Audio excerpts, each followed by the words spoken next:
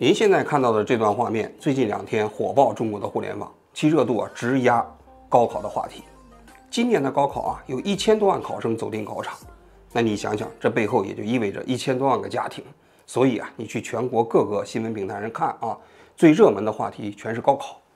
但是就是这么十几秒的一个街拍视频，生生的把高考的热度给压下去了。为什么呢？因为这是一段桃色新闻呐。大家可以看一下这画面中间的男女主人公啊，看起来关系非常亲密啊，穿的都是情侣装。这女的呢，身材啊非常妙曼啊，气质也非常高雅，穿着打扮也非常得体啊。镜头甩过啊，还甜甜蜜蜜的去抓着这个男子的这个手啊，两个人十指相扣啊，就像是一段关系非常亲密的情侣走在大街上。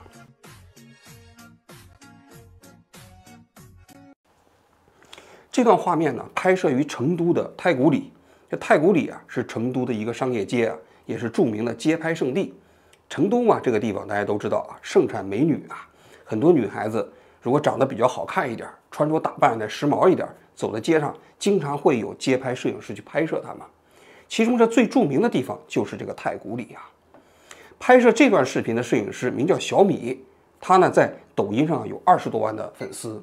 他的这段视频呢，上传呢是在六月七号的中午左右，没想到上传之后不到半天就引爆了整个中国的互联网。为什么呢？因为这画面中间他无意拍摄的这两个人呢，来头可不一般呐。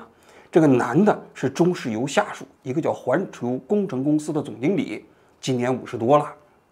这女的呢叫董思锦，今年只有二十八岁，是两年之前从中国石油大学毕业之后进入到。环球，呃，安全环球工程安全公司的，就是这个胡继勇胡经理的下属啊。后来的信息显示啊，这胡经理啊是到成都去出差，带着这个女下属。但你想想，出差的间隙啊，两个人甜甜蜜蜜，十指相扣啊，走到了太古姐的大街上。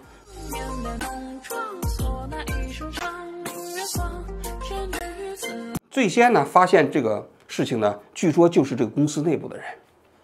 然后呢，当时他们就说啊，这胡继勇的老婆啊就在这个公司工作，他实际上是有气势的人。那这个小三儿也是他们公司的人。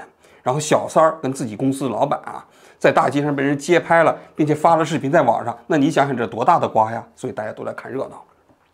消息传出去之后，当天下午全民就都在热议这件事情，有好事者就不停的给这个公司打电话。说你们公司是有个叫胡继勇的吗？在网上视频里头，那个人是不是就是你们的胡继勇啊？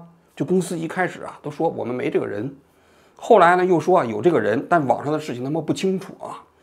然后据那小米讲啊，就当事人咱不知道是胡继勇啊还是董思锦啊，就给他发视频，呃发这个私信，就说他这个视频没有经过他们的同意，让他赶紧删了。这小米啊估计也是反腐败的经验不是非常丰富啊，也是有点害怕。当时就把他这个账号设成了隐私，也就是他所有的视频大家都看不到了。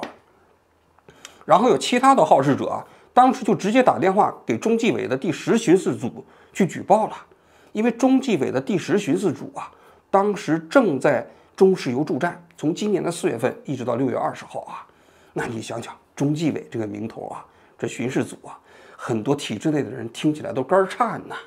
喂，你好。喂，您好，请问是第十巡视组吗？哎，你好，我们是中央第十巡视组信访工作人员，请问您反映什么问题？我是北京环球时报的记者，就是今天呢，网上新出现的一个非常热的一个热点，在在在什么平台上？您在微博平台、抖音平台，话题大概就是国企高管牵手小三。在街头街拍，被人街拍发现是谁嘞？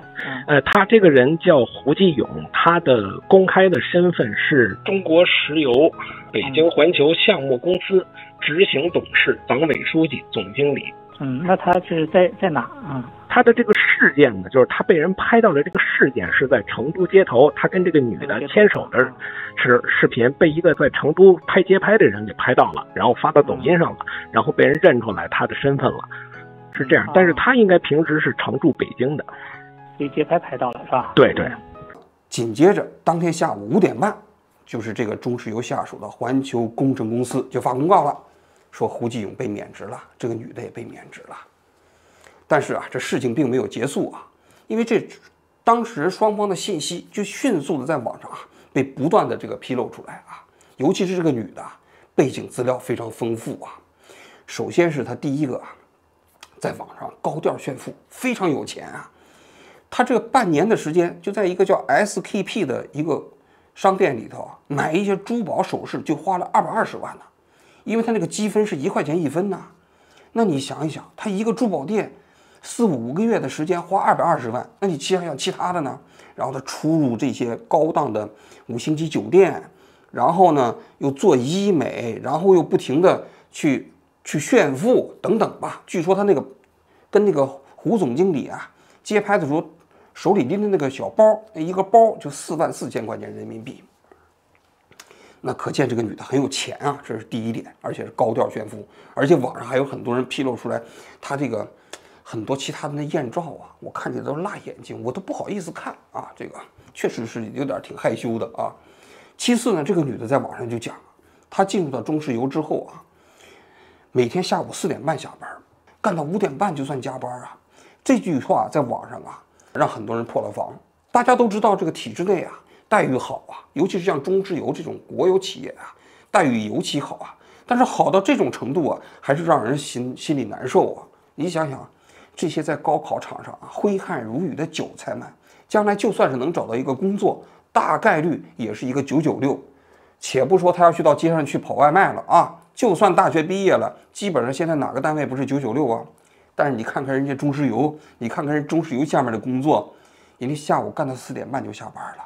那你想想，这人比人得气死人呐，是吧？这个新闻呢，怎么看啊？我个人觉得啊，如果只是把它当做一个桃色新闻呢，就没有太大意思了。胡继勇现在已经被中这个纪委部门啊进行调查了啊。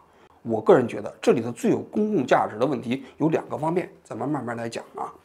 第一个方面就是胡继勇跟这个女的啊，他可能不是一般的出轨的关系，不是一般的小三儿的关系。最重要的是他跟这个女的之间有没有权色交易。而我看了这两天的这个信息之后。我认为啊，大概率有，为什么呢？第一啊，这个女的啊是二零二一年在中石油毕业的，七月二十九号进入到中石油下属这个企业啊。但是他进入到这个企业之后，很快就受到了领导的垂青。二零二二年的时候就当了先进工作者啊，而且这个胡继勇啊就带他出入各种场所，开会的时候都坐在一起啊。然后呢，他成为这个先进工作者的那个通报我也看了啊，讲到说他哎，二十一次传达疫情信息，十几次组织单位的员工进行核酸检测，我就在想啊，他一个刚毕业的这个毕业生啊，进入到单位，第二年就当当选了先进工作者，而且你看看他做的这些事儿，我读起来都好笑，就是你组织了十几次核酸检测，这就是先进工作者了。然后呢，他这个文章发在他们自己的公众号上，大家都去点去看了之后，他们自己的公众号下来都给自己主动注销了。我觉得这不正常。还有一点，你要知道啊，其实他作为一个大学毕业生，刚刚进入到企业的时候啊，他要是要接触这个公司的总经理，并不那么容易呀。这胡继勇啊，从二零一七年开始就开始担任这个环球工程公司的总经理了，他跟这个女孩子啊。中间隔着好几层啊，那你想想他怎么认识的？所以啊，我认为啊，就是这个胡继勇跟这个女孩子啊，大概率在这个女孩子进入到中石油之前就认识了。为什么我有这个假设啊？呃，大家听我来讲啊，这个女孩子你去看一下她的那个微博，这个微博啊现在都删了啊，但是由于被网上大量的网民把它截图之后啊，还有大量的信息可供研究，我就发现啊。就是这个董思锦啊，是二零二一年的七月二十九号进入到中石油，但是他在二零二一年的一月份就进入到了中石油的公示名单，那也就是说他在二零二零年的年底左右他就确认了。同时我还发现了一个现象，这个董思锦呢，在二零二零年的秋冬之际啊，在网上就开始到海南的那些五星级大酒店呢，去过着花天酒地、纸醉金迷般的生活了啊。同时，他自己讲，在二零二一年的上半年五月份，他自己炫耀说，他前四个月啊就花了四十多万，他每个月花七八万。大家要注意啊，这个时候他还是在校的在读的大学生，没有任何收入，那他一个月花八九万，他钱哪来的呀？有人一开始说啊，说他自己的家境非常好，但是这个呢猜测很快就被推翻了。后来他的同学在网上发帖说啊，他的父母就是北外的老师，家境其实挺普通的。原来他自己做那网购的时候啊，还黑自己同学的钱，欠人一万多块钱都不还。还有大家可以看一下他当年在网上发的这些照片，从他刚进大学一直到大学毕业都有。刚进大学的时候啊，实际上是一个丑小鸭。非常非常丑，那丑的不是一般啊！据他自己讲，他从小就是个胖丫头，十几岁的时候长了一百六十斤，后来高中的时候可能是交换生到美国留学啊，这期间他减肥减下来了，变成了一百一十斤。回国之后呢，就开始逐渐的打扮啊。他其实显著的变化是在大学三四年级一直到上研究生之后，可能是做了一些医美啊。这丑小鸭慢慢慢慢的就被医美成了白天鹅啊，但到了白天鹅之后啊，他尤其是在毕业前一年，给人感觉这个生活方式发生了天翻地覆的变化。就是啊，网上他自己发一些那种那种艳照啊，穿的非常少的那那些照片。说句心里话啊，我看起来都不太好意思啊，我都不知道他为什么会发到网上。另外一个就开始经常出入那种高档消费的场所。那么我这这里头啊就有两种可能，第一种可能啊就是他这个时期里头他傍上了一个大款，非常非常有钱，对他挥金如土，想花什么钱就给他什么钱，是吧？然后呢，他在这个过程中又通过正常的校招程序啊进入到了中石油，这是一种可能。第二种可能就是在这个时候他就认识了胡继勇，胡继勇啊，中石油的老板非常有钱，对不对？就开始在他身上不断的投资。于是他有钱了，于是呢，他就顺理成章地进入到了中石油。假如说这第二种情况是真实的话，那么我认为这胡继勇一定存在着权色交易。大家可以看一下这女孩进入到中石油之后啊，她到了中石油之后不到半年，就我说的，她就是在那个这一个奢侈品店里头就花了两百多万，那还有其他的呢。然后他到这个二零二二年的七八月份。也就是说，他刚刚进入到中石油一年之后，他在北京就有了自己的豪宅。那这钱是哪来的呀？合理的推测推测应该是胡继勇给的，否则的话，他应该在胡继勇之外，他又傍了另一个另外的大款。咱们说话要严谨呐啊，这种可能性也是存在的，对吧？就是胡四胡继勇，他给胡志勇只是当小四儿，还不一定当小三儿啊，这要看有关部门去查了，咱就不清楚啊。但是我说，客观情况的确存在着，这些通通都是胡继勇给他的，而且这种可能性还不低。如果是胡继勇给他的，那么胡继勇为什么要给他呀？那那胡继勇是这个单位的领导，这个女孩子又通过跟胡继勇上床睡觉获得了这么多好处，那这中间没有权色交易吗？那我不相信。所以它不是一个简单的花边新闻呢，不是一个简单的桃色事件呢。在我看来，这里头背后啊。大概率是存在着权力的腐败。第二个方面，这个事情发生之后啊，这个成都的太古里啊，马上出台了一个规定啊，说今后啊，在街上啊，这个没有经过当事人同意的街拍啊，这个是不允许的，因为法律禁止这样做。这个新闻出来之后，很多人就在这说：“你看到了吗？凡是妨碍领导寻欢作乐的行为都得禁止。”但也有人说啊，成都太古里的这个规定啊，仍有法律依据。我们也查了一下。民法典出台之后啊，的确有相关的规定啊，就是没有经过当事人的同意，不允许随便拍摄，这是肖像权的保护啊。而且呢，这个法律规定啊，跟你是不是就拍摄行为啊啊有商业利益之间没有关联。也就是说，你不管你是拍完这个照片之后啊，是不是把它想做成一个视频发在网上，是不是想牟利，都需要经过当事人的同意。所以你看到了吗？人说。这个人家规定有法律依据。事实上，在一九年的时候啊，这太古里啊就有相似的规定了，但是呢，一直没有认真执行。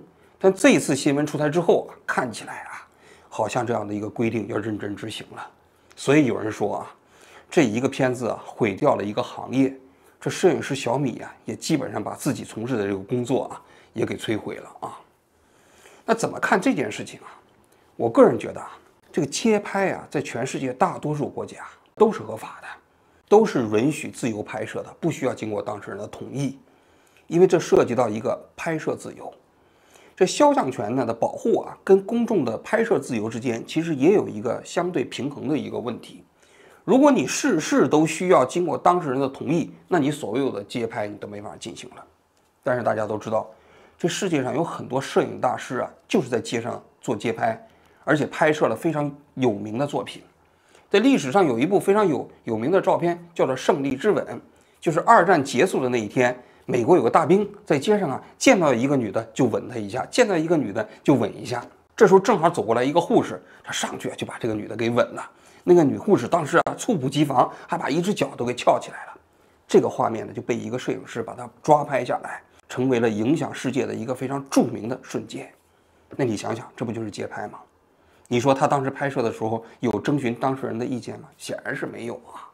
所以如果要是完全禁止街拍的话，等于啊。就这项这样的一个艺术创作的空间就不存在了。当然啊，我也知道啊，成都太古里那个地方啊，有很多摄影师的拍摄啊，确实挺令人讨厌的。我在网上也看到那样的视频，有的人离当事人非常近，就给人感觉是一种骚扰了。那我觉得这也需要法律做一些规范啊。那你也不能贴在人家脸上去拍，然后你前后左右围着像苍蝇一样，那也不行。所以，我个人觉得呢，这项权利本身是应该规范，而不应该是禁止啊。紧接着我要讲啊，我们退一步，就算是法律禁止拍摄街拍，那么小米的这样的一个拍摄行为，它本身犯法吗？我觉得也不犯。为什么呢？因为他拍摄这个胡继勇啊，也包括他的小三儿在街上拉手啊，这涉及到重大公共利益啊。就像我们当时做记者的时候啊。有一种拍摄行为叫暗访，大家都知道什么叫暗访？暗访就是偷拍呀。那偷拍按照法律来讲是犯法，对不对？一般意义上偷拍肯定是犯法的。我在你们家客厅里装个摄像头，那拍摄肯定犯法，对不对？你们工厂里头明明是生产呃正常的车间，我进去装一个摄像头，这也犯法。但为什么记者的偷拍不犯法呢？因为记者的偷拍，它是以公共利益为目标，它涉及的全都是重大公共议题。涉及到是公共政策，他没有自己的自我利益，所以你去看一下，大多数国家对于记者的偷拍也是允许的，也是合法的，即便是在一些私人场所。那你就比如说，当时我们去拍摄那些那豆粉掺石粉的那样的一个作坊，他把那些啊滑石粉掺到那个豆豆皮里去做了。那你如果你不偷拍的话，你怎么取证啊？呃，当年国内著名的用敌敌畏做那个火腿儿，用那陈年的。那个、那个、那个月饼馅做月饼，那不通通都是我们中央电视台的记者偷拍呈现出来的吗？由此改变了一个行业。如果你要是认为这些拍摄本身也违法的话，那你想想，那些谋财害命的奸商怎么有可能被揪出来呢？同理，那现在这胡继勇和这个小三儿啊，幸福的、甜甜蜜蜜的拉着手走在成都的大街上，如此之逍遥啊！那你想想，如果不是被街拍偶然发现的话，他们的腐败行为又有几个人会发现呢？所以在我看来，这种因为公共利益拍摄本身可以免责，这是第二点。第三点，这个新闻发生之后啊，这胡锡进啊在网上发表了一段言论，他说啊，这个胡继勇啊，脑子不知道被什么冲昏了头脑，在这种情况下还拉着自己的小三儿在街上招摇过市。要我说啊，这胡锡进每次雕盘的角度啊，总是非常刁钻呐。正常人遇到这样的新闻，肯定想的是什么？想的是这国企待遇为什么这么好？然后这领导权力为什么这么大？这女孩子为什么敢高调炫富？然后这中间是不是有着权钱交易、权色交易等等？如果有的话，他应该谴责这些。但是你看胡锡进没有谴责这些，他谴责什么？他谴责这领导啊，不太懂得腐败的规则，不太懂得出轨的技术。你腐败就腐败了，你别让人发现呢。你出轨就出轨了，你别出去招摇啊。你跟女下属在床上谈工作，在床上交流，是吧？但是呢，你别手拉着手去太古里呀。你就算去了太古里，你能不能装成同事啊？他是这个意思。那你想想，你说他这个角度是不是非常刁钻呢？不过我觉得胡锡进他这段话也提出了这么一个问题啊，确实如此。如果这个胡继勇啊，不是跟他的这个小三儿手拉着手走在太古里，还真就发现不了那我们就要问了，为什么胡继勇的腐败啊没有被发现？中纪委不是在中石油已经驻站两个月了吗？他们怎么没发现呢？那胡继勇所在单位的人为什么没有发现呢？要我说，这胡继勇开会的时候跟这个这个呃小三儿坐在一起，出差就带着他，然后刚进单位一年就搞成先先进工作者，单位的同事看不出来吗？我不相信。那看出来之后，为什么他们单位的纪委没有这个调查出来这个胡继勇的胡作非非为，把他绳之以法？然后呢，只是一个单纯的街拍发现了，才最后才爆雷，然后就辞职了。为什么？为什么我们的腐败都要靠街拍呢？为什么我们的腐败都要靠小三儿呢？事实上，我们国家最近几年啊，那些著名的反腐败的案例，确实很多的时候都是靠小三儿。比如说当年的郭美美在网上炫富嘛，结果我们才知道那个红十字基金会背后啊那么那么腐烂啊。然后那个那个大 G 开进了故宫，我们才知道啊这么重要的国家文物，你只要有权利，你就可以畅通无阻。包括这一次啊，如果不是说这个董思锦呐在网上那么高调炫富，那么多内容不是那么亲密的拉着自己的这个领导啊，那你想想这件事情能够被发现吗？肯定是发现不了啊，那就说明什么？那就说明我们平时的这些所谓的反腐败的机制通通失效了嘛。所以最后我想回答一下胡锡进这个问题：是什么冲昏了胡继勇的头脑？很显然就是权力嘛。在他看来，他只要手上拥有权力，他就可以为所欲为啊。单位的那些所谓的纪委啊、国家的法律啊、什么社会规则、公序良俗啊，通通不存在呀。他就可以把这个小三儿在出差期间带过去，他就可以带着小三儿在街上招摇过市。你们能怎么着了呢？但是啊，唯一这里头出现的一个 bug 啊，就是啊，这街上还有街拍，街拍之后还弄到网上去了，所以啊，这街拍必须搞掉。搞掉了之后啊，我们领导干部啊，以后再寻欢作乐就再也没有危险了。你想一想，到那个时候啊。我们在网上跟这个小三儿交流完工作以后啊，再到大街上去招摇过市的时候，你们能又怎么着？你们能发现吗？就算你个别人发现了，你不会拍的，把它拍下来弄到网上去，他们也没事儿，我们也没事儿。所以呀，必须把这个街拍啊赶紧弄死。这样的话，以后啊，所有的官员再腐败起来，再欢欢乐起来，就再也没有后顾之忧了，是吧？好，我今天就讲到这里，谢谢大家。